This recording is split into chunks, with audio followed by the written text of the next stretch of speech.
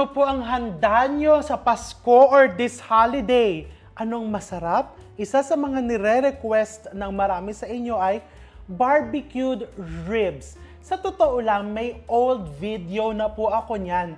Way back 2019, payat-payat pa po ako noon. Konting ribs pa po ang... Konting ribs pa lang ang nakakain ko noon. Eh ngayon, mukhang nasobrahan. Because this version is extra bongga. Mas masarap tong version na to. Kaya kung mahilig ka sa barbecued ribs, panoorin mo to.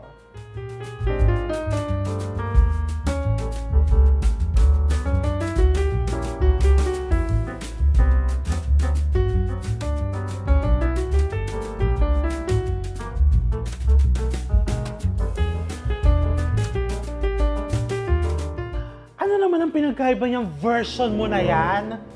Eh di ba parang halos pare-pareho lang naman ang pagluluto ng ribs? Ay nako, Day. May beer yung aking ribs. O yung, bi- yung ribs mo ba? May beer? Nilalagay mo ba ng beer? Ay, hindi po. Kinakain ko lang siya with beer, pero yung pinaka-ribs, walang beer. O, di ba? Kaya manood ka. Iba tong version na to. So, first, una pa lang ha, klaklaruhin ko na po. This recipe, dinoble ko para hindi sayang ang gas kasi medyo matagal po ang pagpapalambot nito. Kaya 4 kilos po itong ribs na aking lulutuin. But in the recipe, it's only 2 kilograms. So kung susundin mo itong nakasulat, mapapansin mo marami po itong gagamitin ko na ingredients ngayon kasi nga doubled times 2 the recipe. Meron akong American ribs dito. Nabibili po sa supermarket yan. Isang slab, hinahati ko lang siya sa gitna para magkasya sa lutuan. But if you have a bigger cookware, mas malaki yung lutuan mo, pwede na ding wag mong hatiin sa gitna. Ilalagay ko lang yan dito. Hinahati ko lang sa gitna ng ganyan. Makakapal tong nabiling ribs. Ibig sabihin, malaki yung baboy. Pero pwede din namang mas maliit yung baby back ribs. Pwedeng ganun din ang gamitin mo. Katulad nito, masyado siyang malaki. So, hahatiin ko pa siya sa gitna. Ayan. Okay, but may paper towel para ma-absorb yung mga dugo-dugo. And then, alisin ko na tong aking sangkalan. Huwag mo nang gagamitin to sa iba. Remember, pag ginamit mo sa hilaw, especially sa karne, huwag mo nang gagamitin sa iba pang produkto to prevent cross-contamination. So, ayan, next. Ilalagay ko na siya dito. Bubuksan ko na yung apoy. And ibubuhos ko na yung mga ingredients. I have here water. Ilagay mo lang. Oh, libre hugas ng kamay. I have here soy sauce, toyo, just ordinary soy sauce. This is tomato ketchup. Pwede po bang banana ketchup ang gamitin? Pwedeng pwede, no problem. Mapapansin mo lang mas magiging mapula because of the food color. Yung iyong ribs, pwede din namang tomato sauce ang gamitin. Or kung gusto mong mas natural, you can use crushed tomatoes. You want the acidity. And this is ginger that I've sliced. Pampatanggal lansa ng baboy. And added flavor. This is curry powder. Bakit may curry powder? Indian food po ba yan? Hindi mo mapapansin to mamaya. Hindi mo siya actually mararamdaman mamaya. Kaya natin nilalagay yung curry powder is just to add more flavors dun sa iyong meat. Pero not necessarily na maglalasang Middle Eastern food yung iyong ribs. Don't worry. Trust me. And this is paprika. Kasi syempre, di ba, hindi naman natin isusmoke to. Yung ibang nabibili na order sa restaurants, the ones that we can buy commercially, smoked po yun. Ginagamitan talaga ng smoker. Eh di ba, alam ko namang tayo dito sa ating mga bahay, sa ating mga home kitchens, hindi naman po lahat tayo may smoker. So you can use paprika. This is smoked paprika to add the smoky flavor sa iyong barbecued ribs. So put it there. And then I have here black pepper, brown sugar. You can also use honey if you want na gusto mong mas natural. And this is minced garlic. Maglagay ka ng maraming garlic. Ako po, naglalagay po ng onions. Gusto ko may onions. Lagyan mo. Siyempre din naman, isa din namang factor, di ba? Yung cost, kaya yung onions, tinanggal ko na. But if you want onions, you can put two whole onions chopped. And then of course, ayan, the beer. Of course, special mention sa aking kapatid. Dapat pala, kinolab ko siya na napakahilig sa beer. Ay, ayan tuloy. Ay, Diyos ko, kasi babanggitin ko yung tatay ko. Tatay, parang dam. babanggitin ko kasi, ang tatay ko po kasi, mahilig sa beer. O, di ba? Ayan, nililinis ko. Oy, kukulo po ito, ha? Baka sabihin nyo, ayan na naman siya, kinakamay niya, nilalamutak niya. You can use any brand of beer. Hindi naman kailangan ganito. Ganito ang beer namin. Dami namin beer kasi eto, secret lang natin. Yung kapatid ko, gabi-gabi pong umiinom ng beer. Kasama yung mga kaibigan namin, si Erin at si Tita Susie. Hello! Ayan, ang hilig-hilig nila sa beer. Pati si Sarah. Hello, Sarah! Binanggit, no? Binuko ko lahat. Si Tita Nini, mahilig din sa beer. I'm going to see you all soon. Madami pong beer na nakaabang dun sa bodega. Hindi tayo mauubusan. Ayan, so buhos ng buhos dyan ng beer. Bakit ba naglalagay tayo ng beer? beer is an essential bracing liquid, especially in Europe, especially sa Belgium at sa Eastern Europe. Ginagamit po yan, first, nakakatanggal ng lansa ng karne. If you want to brace baboy, yung mga gamey meats, pag beer ang ginamit mo, nababawasan po talaga yung lansa.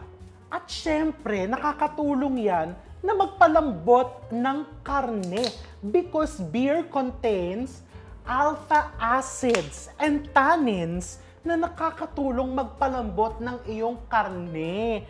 O di ba? Kaya mag affordable. Ang beer ay affordable. And if you're worrying na may batang kakain or may senior na kakain ng iyong barbecued ribs, don't worry because as you boil it, natatanggal yung alcohol ng beer, nag-e-evaporate, so naiiwan lang yung kanyang nice flavors. O, yung dami ko sinabi today. Ang dami-dami ko sinasabi. Feeling ko science teacher ako, pero minemorize ko po yun, di ba? O, inaalog-alog kong ganyan kasi ang laki niya, oh, look. Di ba? O, may mga natira pa dito. Actually, masarap tong beer na to. Tikman natin. Very light. At syempre, may elephant. Di ba? Kaya nung nakita ko to sa grocery, binili ko. Hindi po sponsored yan. Binili po namin yan sa SNR. Sayang. So now, the next step is, papakuluan mo yan. So, hihintayin ko lang kumulo siya, yung kulong-kulo.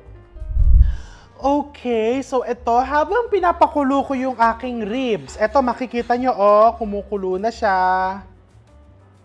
Pag kumukulo na na ganyan, what you're going to do is, pwede mo nang takpan yan. Takpan. Hinaan ng apoy. And you're going to simmer it or braise it. Papalambutin natin for around one and a half to two hours. Or, pwede mo din naman gamitan ng pressure cooker. Mga 45 minutes lang up to an hour. So habang pinapakulo ko yan dyan, pinapalambot ko, gagawa ko ng mashed potatoes. Meron ako ditong water, boiling water, nalalagyan ko ng asin, and lalagyan ko ng marbled potatoes. I like using marbled potatoes kasi hindi ko nababalatan yan. Yan na mismo. Pagka lumambot, imamash ko na ay sarap-sarap. Ayan, pakuluan lang natin until fork tender and then imash natin. Okay, so I checked kung malambot na yung patatas and malambot na. So tatanggalin ko lang to dito.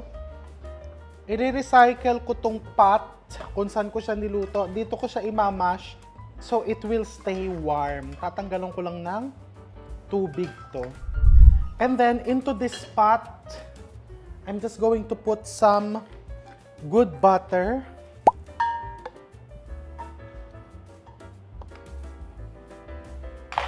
Okay, and then, pwede mo lagay kalaha, kalahati. And then you just, you can just mash it like that.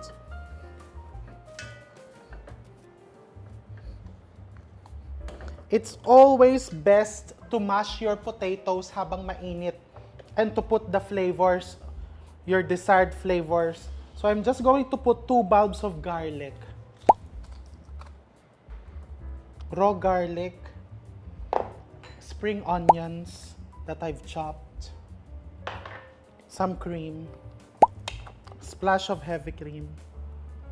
You can also put truffle oil if you want. But I'll keep it plain kasi ang gusto ko maging star is yung ating ribs. Eh bakit kasama yung balat? Ba't sinasama mo ba yung balat? Ayaw ko. Pwede mo naman balatan. You can actually use bigger potatoes and you can peel it after boiling. Mas maganda kasi pinipil after boiling so that the starch remains dun sa pi- pinakapatatas mo. But me, I prefer na nakikita yung balat. Ewan ko, parang mas mukhang natural. Alam mo yun? Kasi ngayon, naglipa na na yung mga fake. Talaga ang lutong ng fake, no? Ang lutong ng fake. Yung mga powdered potatoes. Ito talaga, alam mong nanggaling talaga siya sa tunay na patatas kasi nandun yung balat. And also, ako naman, nasasarapan ako dun sa balat. Ewan ko lang sa inyo. Kung hindi kayo nasasarapan, pwede, huwag mo isama. Walang problema. Ayan, kamamash ko, hindi ko inaasnan. Kailangan mong asnan to. Put some salt. Lilipat na ako dito para nahihirapan ako. Tumutunog ang ingay-ingay. Ayan, palet. Try it.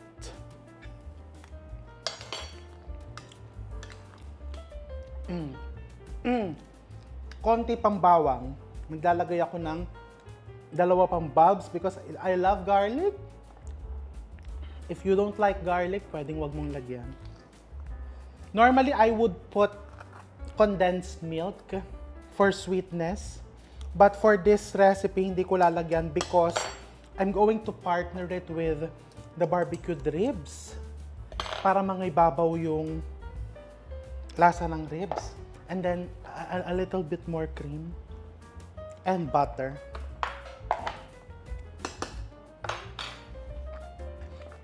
O, di ba? Talagang holiday handaan galore na tayo dito. Love it. Mm, I love it. Tingnan mo how creamy it is. Ganito yung gusto ko sa mashed potato. That's it.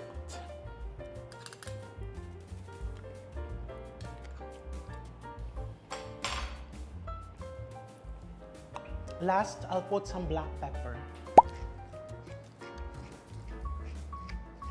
And then that's it. So may mashed potatoes. Ready na tong aking mashed potatoes. Patuloy kong papalambutin to, mga isang oras pa. I-click-cling wrap ko lang tong mashed potatoes para hindi ma-dry. And then, sabay-sabay natin titikman. Ayan na. So, after waiting for around, inabot din po ako ng mga dalawang oras. At low flame, eto na. So, makikita mo, nangonte yung ating, teka, bubuksan ko po ito para mahigop niya yung usok. Mapapansin nyo, kumonte yung ating liquid na ngalahate. Okay? Yan yung pinapaliwanag kong reduction. Habang pinapakulo mo yan at low flame, talagang mangangalahati yan and makikita mo super lambot ng ating ribs. Almost nga, oh, pagka hinila mong ganyan, tignan nyo po, oh, matatanggal na yung buto. But you don't want to do that. Tatanggalin mo yan kapag ka nasa mesa na. So, meron ako ditong sheet pan. Ilalagay ko lang yan dyan. Ayan, ililipat ko lang kasi yung sauce ay ire-reduce ko na ng tuluyan. Ang lambot-lambot niya. My gosh, oh look. Oh, di ba? Meron na tayong recipe niyan dati pero mas pinabongga yung ngayon. Ito yung akin latest. Pinalambot natin sa beer. Ah, see, pa- yung buto, oh. Ay, mm, anong say mo? Anong say? Ito pa yung isa. Ito yung pinakamakapal eh. Inilalim ko talaga yan. ba? Para mauna siyang lumambot. See? O kung gusto mo naman, hindi ka makapag... Ay, oh, nakita mo yon Nahila ko siya gamit tong aking tong. Pwede mo na din tikman. Mm. Mm. Nanuot. Nanunuot hanggang loob. Pero syempre, mm, Siyempre, lulunukin ko muna. Ayan.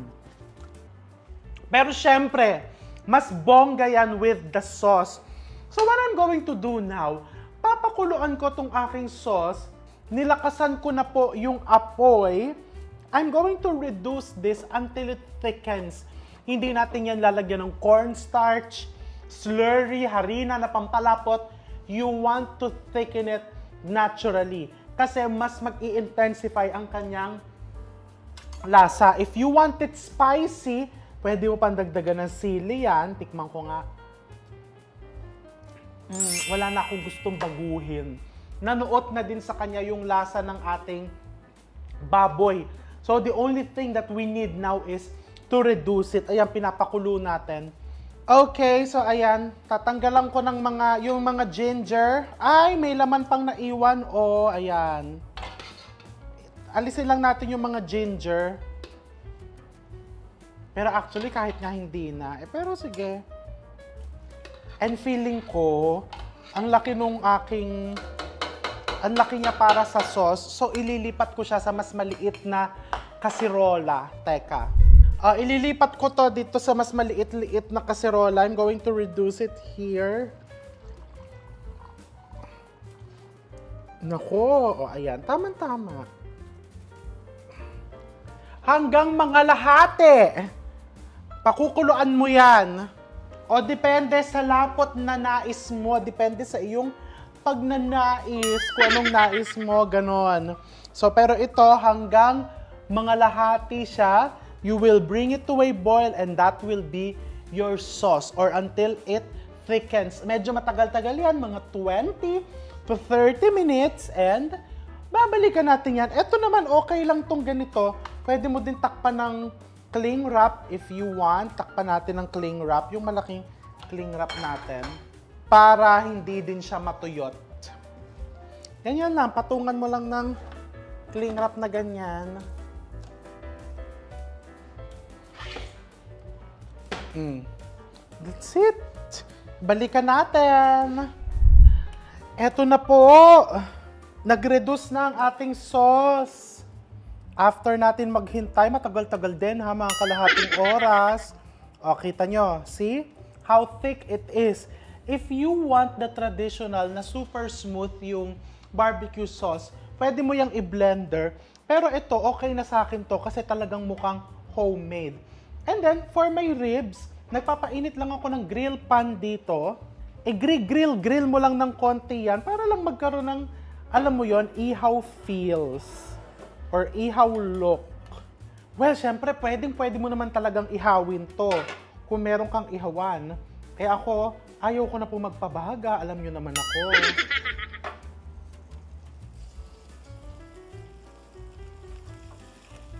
Ayan, ganyan lang. Pwede mo din naman i-blowtorch.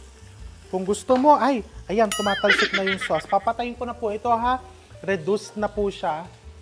And habang iniihaw mo po yan, i-baste-baste mo.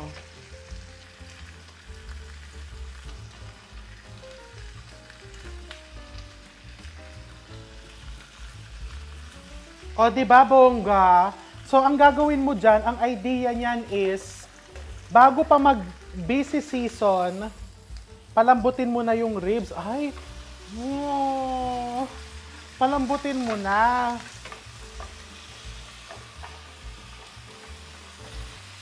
Para pagdating ng busy season, relax ka na lang. I-grill mo na lang. Mm. Ayan, ganyan lang po. O tapos, Noche Buena na. O kaya, Medya Noche na, my gosh. Ang usok-usok na. 'Di ba? Sa exchange gift, amoy usok na kayo. Kaya, sa labas ka po, mag ganito. Wag sa loob. Mm. Put some parsley para makulay ang Noche Buena. Oh, di ba? Akalain mo ba? Para ka nasa restaurant? My God, dapat singilin mo ng mahalang mga kamag-anak mo. Lakas ng ano ko sa kamag-anak ngayon. okay, tuturo ko sa inyo kung paano mo gagawing parang platter. Platter style. So, meron ako ditong magandang chopping board.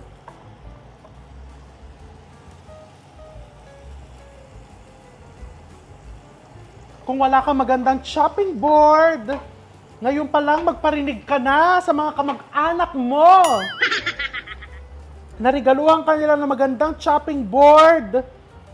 At ang kapalit nun, ipagluluto mo sila ng barbecue ribs. Na bonggang-bongga, ito mismo. And meron ako mga lalagyanan dito. Hmm, mo ng mashed potato. Lagay mo dyan. And then, o dito sa malapit. O, dyan na lang sa likod. Tapos dito, let's put carrots. More parsley.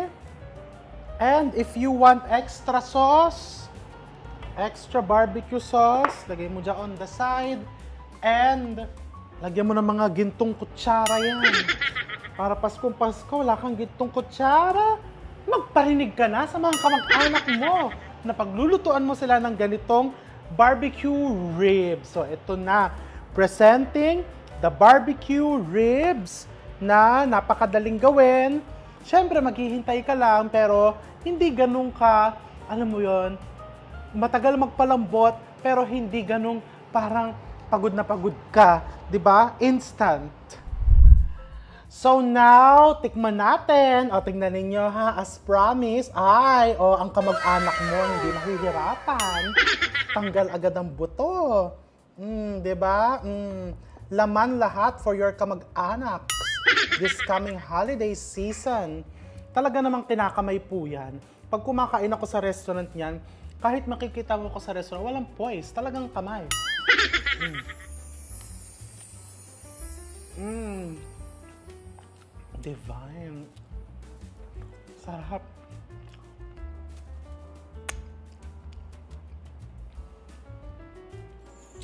Ang lambot. Lambot. Diba? Mm. Teka. Get, tsaka ako ng pasensya na kutsilyo na kuha ko. Mm. Mm. Pero alam nyo, sa totoo lang ha, ayaw ko magpanggap. Hindi ako mapagpanggap.